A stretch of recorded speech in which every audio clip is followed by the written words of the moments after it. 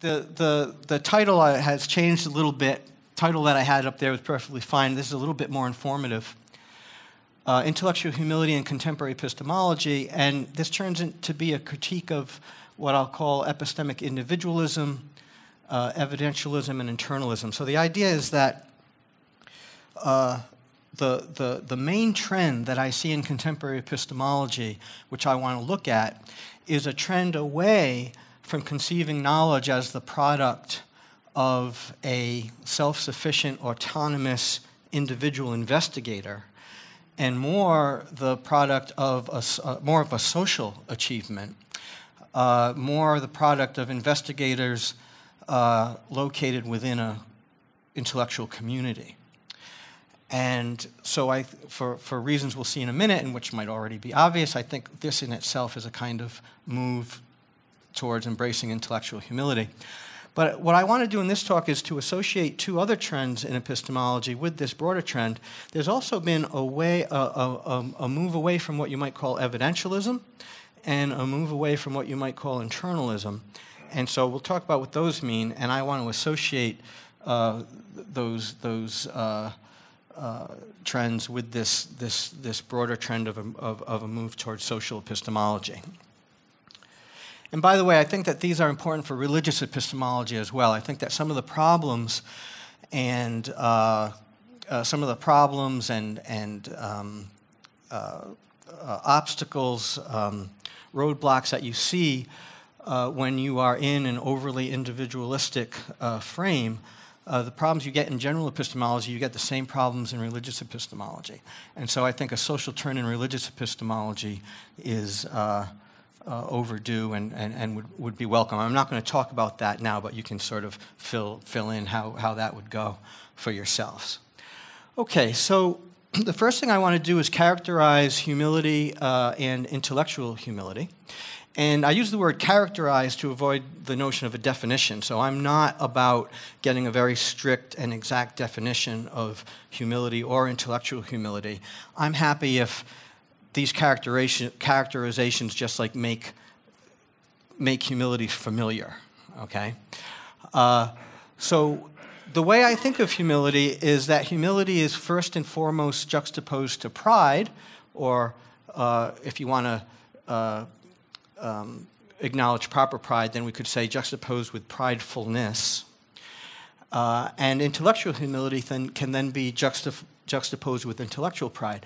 So here's some seven related characteristics of pride, and then this will give us a handle on uh, uh, humility and then intellectual humility. I should have some idea about what, what the time is here. So, okay. Okay, so one characteristic of pride is overestimating one's abilities uh, and uh, underestimating one's limitations. So we heard about that uh, from Jason. Uh, another related characteristic of pride is overestimating one's own contributions to one's successes.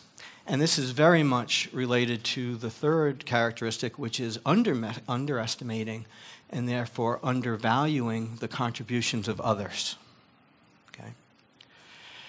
Uh, that's closely related with underestimating one's dependence on others. And that, that underestimating of dependence on, on, one, on, on, on others is uh, related to illusions of self sufficiency. Okay. Uh, now, illusions of self sufficiency, that's clear enough but I also want to um, I also want to acknowledge another um, aspect of pride, and that would be uh, not just illusions of self-sufficiency, but ideals of self-sufficiency, and with related ideals of control and invulnerability. So the the prideful person not only thinks that he or she is more self sufficient than he or she really is, but they, they really want to be self sufficient. And that's something to be strived for. And that's very related to striving for control and striving for in, invulnerability. Uh, and that goes with the notion of autonomy that contrasts or juxtaposes individual autonomy with dependence on others. So somehow a dependence on others is a threat to your own uh, autonomy. Now, if that's how we're understanding pride, and if humility is to be contrasted with pride, then humility can be characterized in terms of a realistic estimation of one's abilities and limitations. And I'm happy to, to go with Jason there and just scratch off abilities. Uh, humility can be characterized in terms of a realistic uh, ex- estimation of one's limitations and contributions, a realistic appreciation of the contributions of others and one's dependence on others, and the rejection of self sufficiency as an ideal. Okay. Intellectual pride, intellectual humility can then be understood accordingly. So you would then characterize intellectual humility in terms of a realistic estimation of one's intellectual limitations uh, and intellectual contributions to one's own intellectual successes. Uh, a realistic appreci- appreciation of the way in which one is uh, dependent epistemically or intellectually uh, on others. Okay you could think of uh, this Enlightenment ideal of an individual self sufficient autonomous knower as a kind of picture of intellectual pride or pridefulness and a turn towards a better appreciation of the knower as embedded and dependent on intellectual community as uh, a move towards uh, a more humble view of one's intellectual accomplishments. Okay, so now I'm going to have to bring a chair over here because I have, I have back issues. I can't stand for very long, so I'm just going to lean against the back of this chair.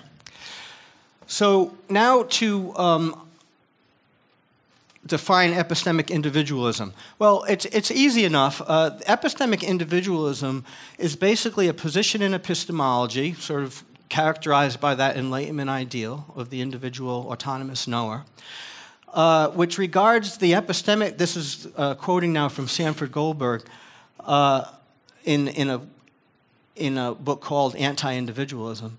Uh, epistemic anti individualism regards the epistemic justification of a subject's beliefs as sometimes, at least, depending on features of the cognitive and linguistic acts of other subjects or social peers or the ascription of justification and knowledge to a subject S sometimes, at least, depends on factors pertaining to the cognitive lives of subjects other uh, than S.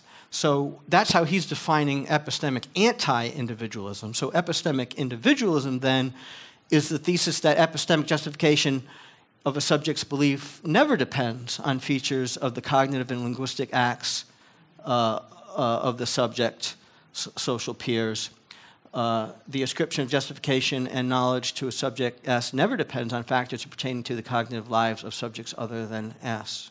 Okay. So again, epistemic individualism embraces the ideal of self-sufficiency uh, in the intellectual realm. On that position, positive epistemic status is wholly determined by the resources of the individual. Now, I think Sandy's characterization is, is a little off because epistemic individualism isn't so crazy to think that you're never dependent on what other people teach you or whatever other people tell you in terms of testimony, uh, et cetera. Sometimes I know things because you know things, and, and I, uh, uh, I, oh, thanks. And I benefit from that knowledge. So, so we have to tweak it a little bit. And I want to consider an economic analogy, okay? there, there's a sense of dependence that a, say, uh, uh, a wealthy business person, the owner, a wealthy business owner, or for that matter, even a slave owner, is dependent on the employees or the slaves because uh, the employees uh, are working for the owner. However, suppose it's the case that the, uh, let's talk about employers rather than slaveholders. Uh, suppose it's the case that uh, the, the employer, as usual, evaluates the contributions of the workers and chooses to pay with her own resources for the work uh, and could easily fire the workers that she has going for her and will not pay for work that she doesn't consider to be up to par and suitable to her purposes. Well, there's, then there's a sense of dependence, but it's a kind of pseudo dependence, right? She doesn't, she doesn't really need this individual worker or that individual worker, and everything she does benefit from, she pays for for herself, okay? That's, that's a, a, an analogy how you can think of epistemic dependence from an individualistic point of view, okay? So the individualistic uh, uh, epistemology says, yes, I can learn from others, but only because I've evaluated those others as worthy of teaching me. So I've evaluated for them, at, I've evaluated them as reliable, I've evaluated them I've had a certain expertise, uh, etc. So I use my own individual resources to validate other persons as being able to help me. So that's a, that's a kind of pseudo dependence that is analogous to, epi- to um, economic pseudo dependence. I want to think of epistemic of real epistemic dependence on other persons uh, as a dependence that takes me beyond my own resources and takes me beyond what I can evaluate or vindicate uh, for myself. Okay? So taking seriously a dependence on other persons as persons as have something that I don't have and I can't pay for. Okay?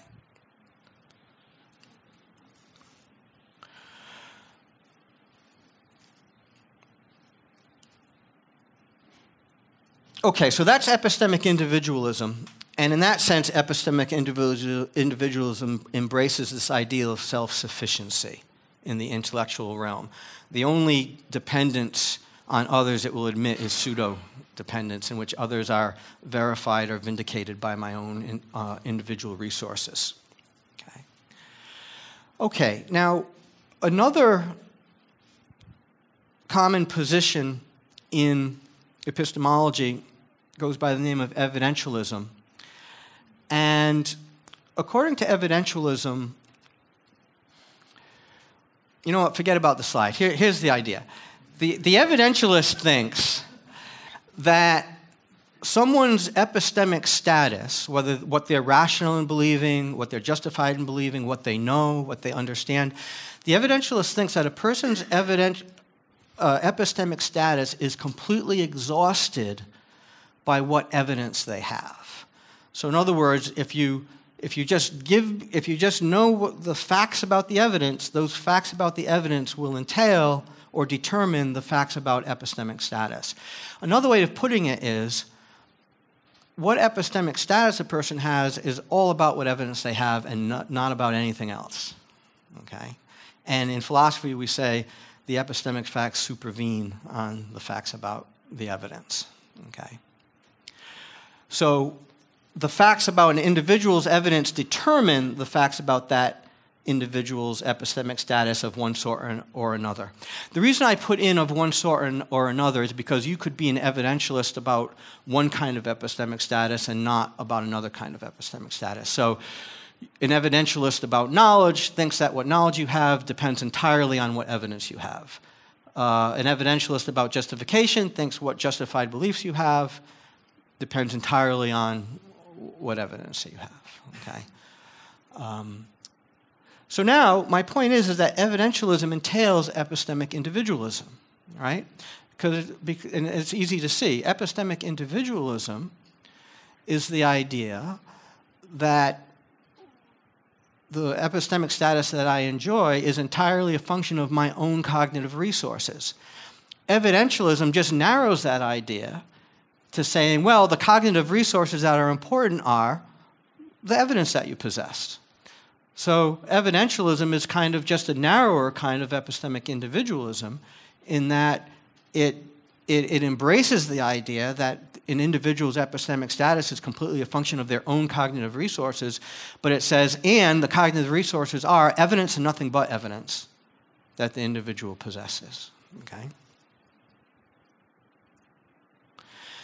Okay, the next theme I want to, um, uh, the next trend in epistemology that I want to tie to epistemic individualism is internalism.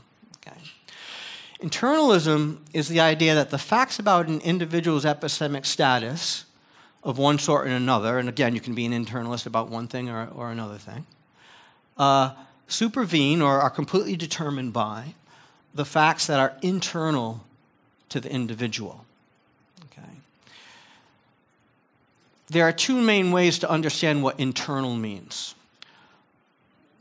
The first way is a kind of epistemic way. What's internal to me is what I have a kind of privileged epistemic access to. What I can know just by reflecting, what I can know by just sort of using my sort of a priori uh, um, and reflective capacities. Um, that's what's internal to me. What's external to me is uh, what you know falls out, outside of that realm of privileged access. Another way of thinking of internal, which is, which is somewhat related, is that the internal is basically the mental. So, what's internal to me is what's internal to my mental life.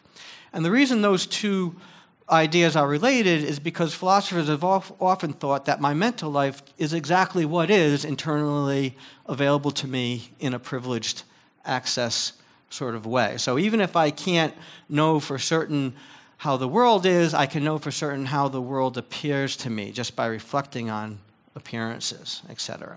Okay? So, in, in either sense, uh, the internalist wants to make positive epistemic status of one sort or another uh, be completely a function of those sort of internal resources. Uh, now, of course, internalism also entails individualism, and in fact, internalism is a kind of epistemic individualism on steroids.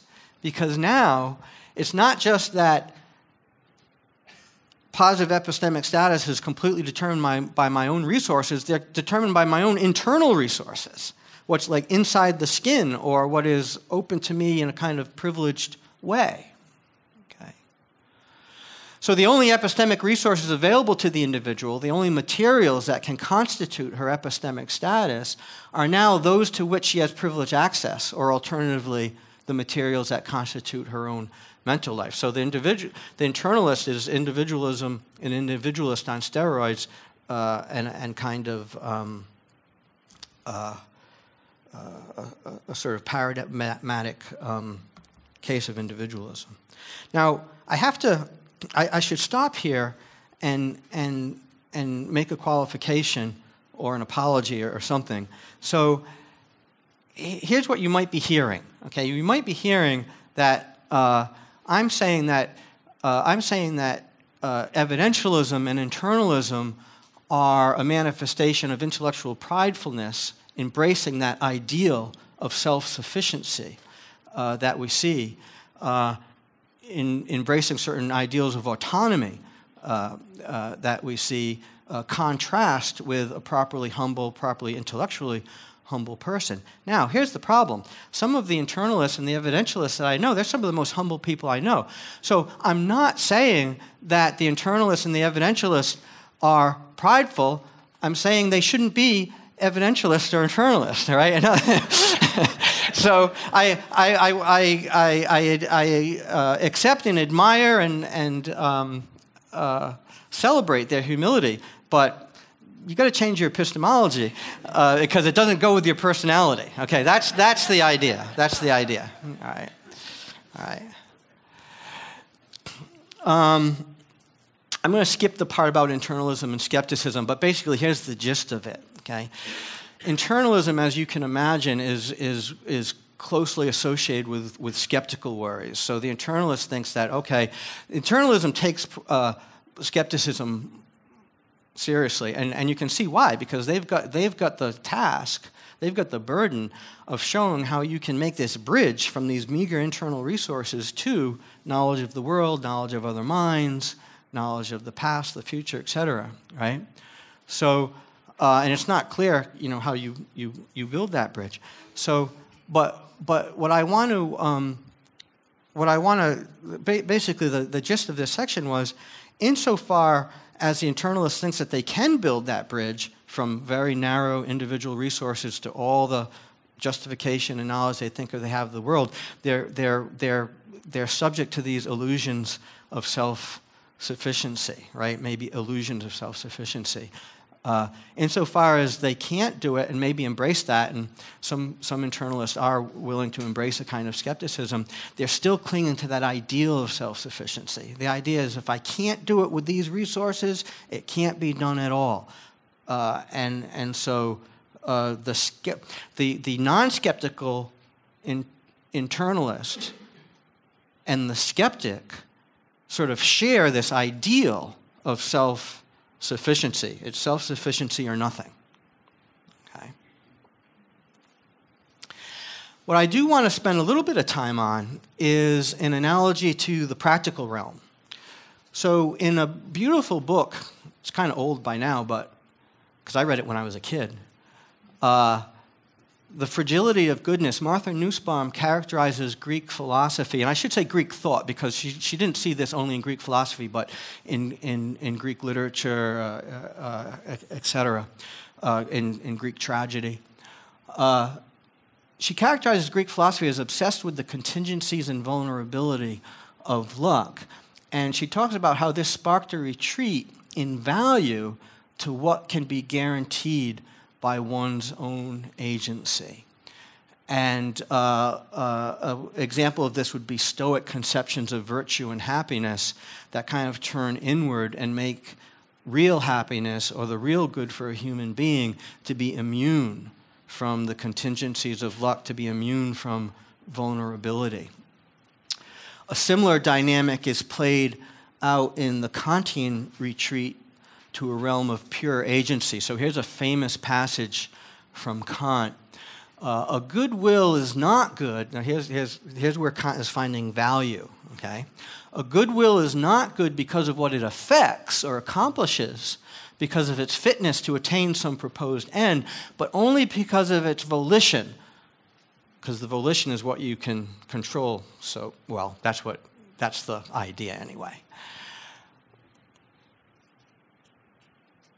It's because of its volition that is good in itself. Even if by a special disfavor of fortune, this will should wholly lack capacity to carry out its purpose, if with its greatest efforts it should yet achieve nothing and only the goodwill were left, then like a jewel it would still shine by itself. It would still have all the value there is to have as something that has its full worth in itself. Usefulness and fruitfulness can neither add anything to this worth nor take away from it. This is similar to an internalist perspective in epistemology, where so long as I, from my own internal perspective, can uh, uh, have a kind of rational or, or, or, or, justified position. It doesn't matter if I'm the victim of an evil deceiver.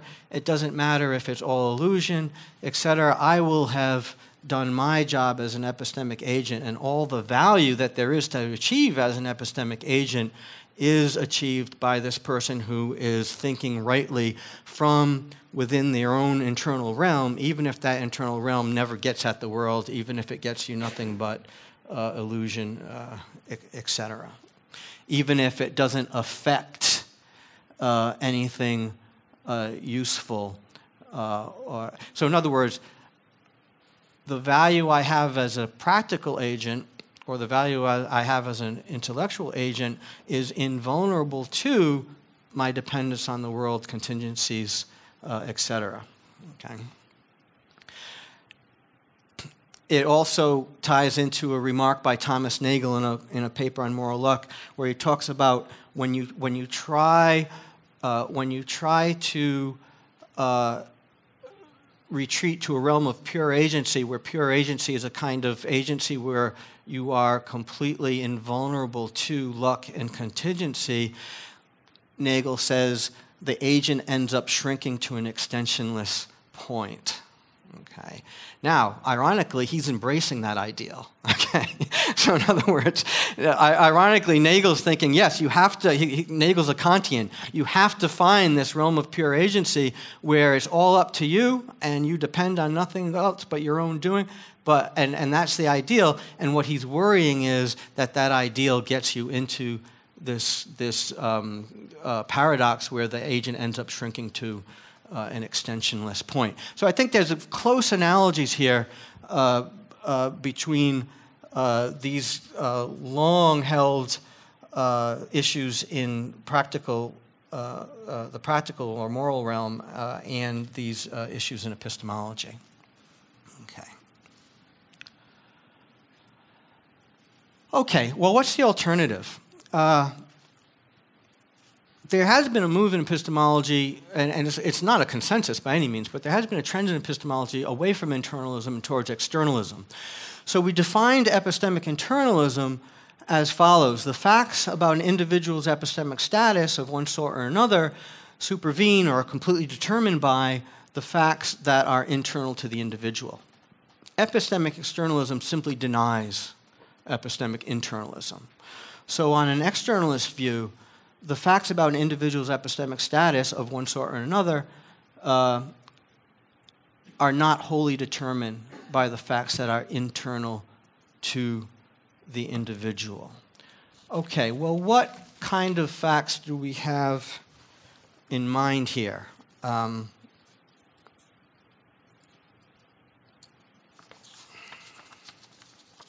I'm going to read a little bit because I'm running out of time. So, most notably, these external facts will be causal and other modal facts describing relations between the individual and the world. So, for example, facts about the reliability of one's cognitive faculties, facts about the proper functioning of one's cognition, and more generally, facts about the causal and modal relations between the individual and her environment. So, these are all paradigmatically external facts in that they are neither facts to which one has privileged access, nor are they facts about one's mental life. So, on this view, externalism uh, places the notion of a pure, I'm sorry, externalism replaces replaces the notion of a pure agent operating in a pure realm with that of an embodied agent operating in the world. What matters for intellectual status or, uh, is a function both of what goes on internal to cognition, but also how that cognition relates to the world. For example, whether the agent's environment is enabling or undermining. In this way, externalism makes epistemic status of one sort or another depend partly on an environment that is not the agent's own making. And in doing so, it makes epistemic status and the agent herself vulnerable to the contingencies uh, uh, of what she cannot control. Okay. So, from an externalist pers- perspective, whether I have justified perceptual beliefs, for example, or whether I have perceptual knowledge, is a matter of whether my perceptual environment is meshing with my perceptual uh, uh, faculties. Uh, I need a enabling physical environment for my cognition to work properly or to function properly and therefore give rise to good cognitive stuff, positive epistemic uh, status. It's not just a matter of sort of what the appearances are, but how I've been designed to interact with the uh, cognitive processing. Um, well, the cognitive processing uh, involved in, in perception depends on the right sort of environment, not just what's going on from the skin uh, inward. That would just be an example of how the externalist um, is getting away from this notion of a pure internal agent to the interaction of an embodied agent with uh, the environment. Okay. But the externalist would say the same thing about reasoning, uh, the same thing about memory, the same thing about uh, mind reading or our knowledge of other persons. Uh, it's not just about um, perception of physical objects very quickly, you can see how externalism motivates anti evidentialism.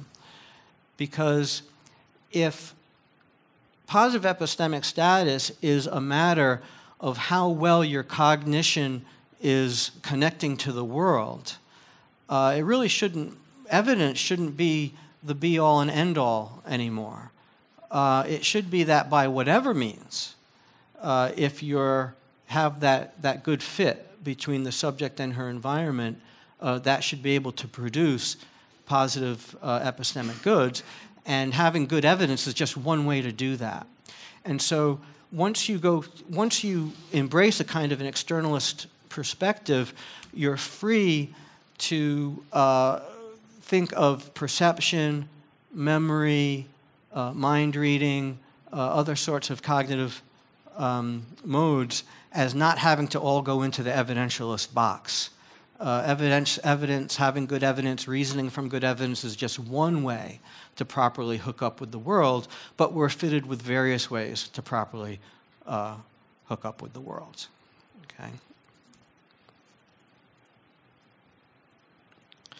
So, so far we've seen that um, we've seen uh, some motivations for rejecting internalism and rejecting uh, evidentialism. And we've seen how doing so allows a more realistic estimation of one's abilities and limitations, and how doing so embraces at least a kind of epistemic dependency on the world. But all this is still consistent with epistemic individualism and its rejection of social epistemic dependence or epistemic dependence on other persons. Okay?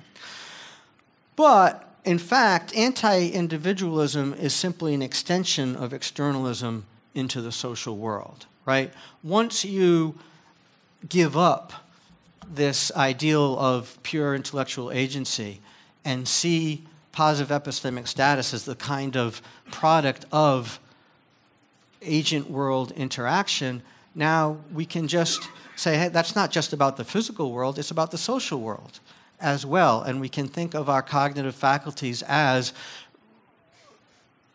thriving, flourishing, producing good stuff, not only in enabling physical environments, but also in, in enabling social environments. Okay? So I only have a, a, a, few minutes, so I just want to give an example of uh, a way of thinking about our um, epistemic social dependence, which really does take seriously our dependence on other persons, not a kind of pseudo dependence, but a kind of real epistemic dependence uh, on other persons. In order to sort of show you the model, uh, I need the notion of an epistemic community. Uh, think of an epistemic community as um, a bunch of people working together uh, uh, to achieve some shared practical tasks but practical tasks that are information dependent. So work, an epistemic community is a group of people working together to do something together, but for which they need quality information to execute their, uh, their tasks, right?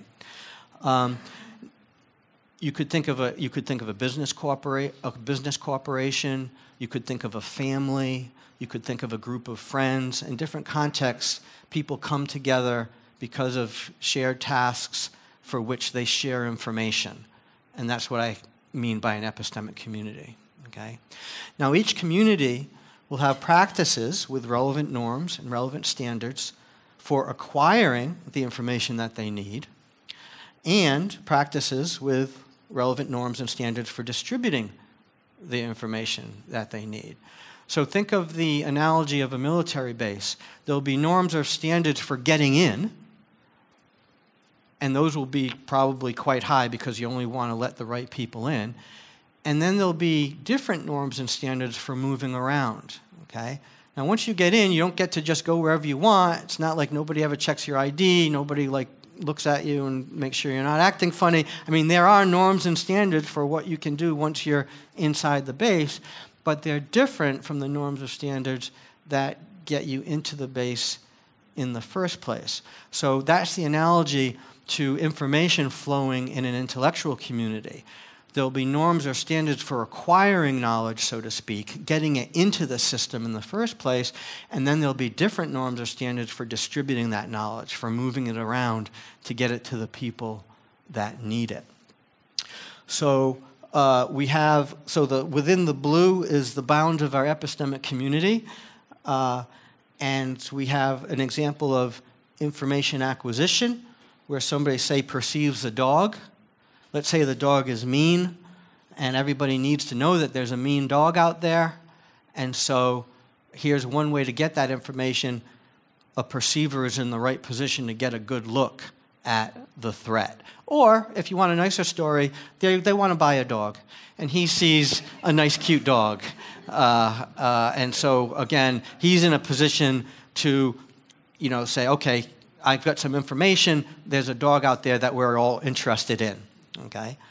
Uh, now there'll be norms governing that transaction, right? Uh, the idea is that if he doesn't get a good look, if uh, he doesn't do the kind of observations that are required to vindicate the sort of information that we need, then he's not being a good epistemic agent. On the other hand, if he is getting a good look, if he is interacting or observing in the way that he needs for the particular task, you know, then uh, he's acquiring the knowledge, uh, he's meeting the standards for acquiring the knowledge that the community needs. Now, contrast that with the notion of information distribution. See, epistemic communities thrive on a division of epistemic labor. The whole point of epistemic labor is that if you do something, I don't need to do it over again, right? So the idea is that now, once he has the epistemic goods, he can distribute them to other people that need it. That, those transactions are also going to be uh, governed by norms and standards, but they won't be the same ones that would sort of undermine the point of an epistemic division of labor in the first place, right? These transactions are characterized by cooperation, right? They're cooperating for a common purpose to uh, uh, achieve something uh, as a community and their cooperation allows them uh, to uh, distribute information in a way in which it takes the burdens off the other people in the community. They don't have to go and see for themselves what this person saw. Okay. And then finally, we can see that testimony can actually play these two roles because sometimes the testifier is outside our epistemic community, in which case we're not in that same cooperative relationship, and so we have to sort of evaluate the person for what they're saying, whatever. We're not to, we're, we can't trust that person to be a cooperative agent in our community, and so we do have to bring our own intellectual resources to evaluate what that person is saying and whether they should be believed.